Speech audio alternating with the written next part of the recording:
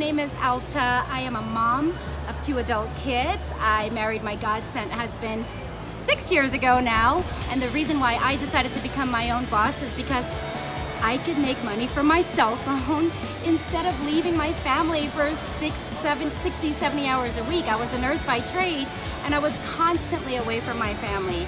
And that is what I love about it. This business is so freeing um, and that's something money cannot buy is your time. And this business has given me my time back and I couldn't have asked for anything more.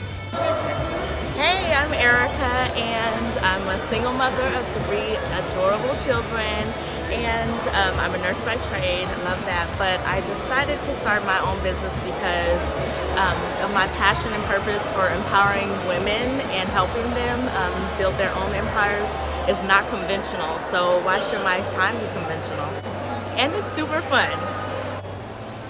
Hi everyone, I'm Jessica. I'm a clinical pharmacist, previously shy introvert, mom of two little boys and a firefighter husband and um, I decided to start my own business because I was looking for something else um, in life, find another calling and what it's enabled me to do is to spend more time with my babies, not miss their milestones and help empower other working moms to take control of their lives.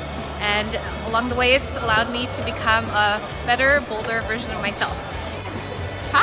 My name's Amy. I am a mom of three and I am married to my best friend. Uh, by trade, I was a stockbroker and then a customer success manager at Cisco Systems. And they started doing annual layoffs, so I decided to become my own boss so I can control that and have a plan B before I needed it and it's allowed me to actually retire from the corporate world so I have my freedom with my family and the best part is the sisterhood because I feel a part of something bigger than me. And I'm leading by example for my kids. I get to show them that they can do bigger and bolder things and they're starting to think outside of the box and because of that they are more brave. Hi, my name is Mary Beth and I'm married and I'm a mom to this beautiful little baby girl, Kira. I'm a clinical pharmacist by trade and I decided to go into business for myself because I wanted to impact more lives than I could ever imagine compared to what I could do in my pharmacy career. And it um, helped me become the woman that I want to be, that the, the woman that I want my daughter to look up to. Hi, my name is Natalie. I'm a hairdresser and a salon owner. I have a son and a wonderful supportive husband.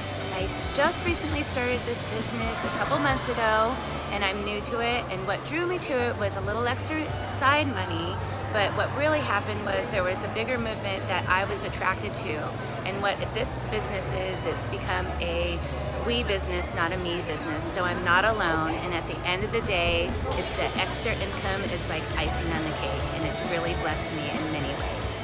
Okay. Hey, my name is Tina and I am a mom of four crazy kids and wife to my super special husband and a marketing manager by trade.